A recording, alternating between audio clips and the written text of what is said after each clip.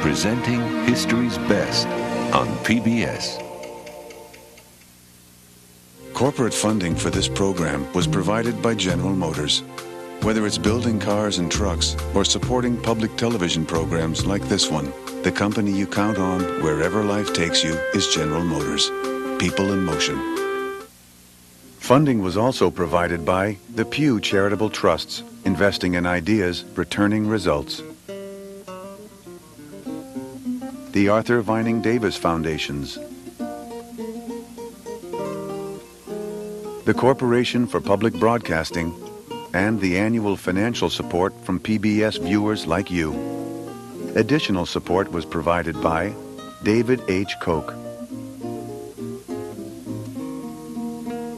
the National Endowment for the Humanities,